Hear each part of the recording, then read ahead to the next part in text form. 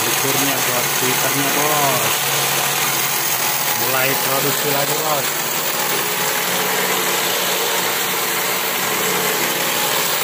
Ini tali 5 menit.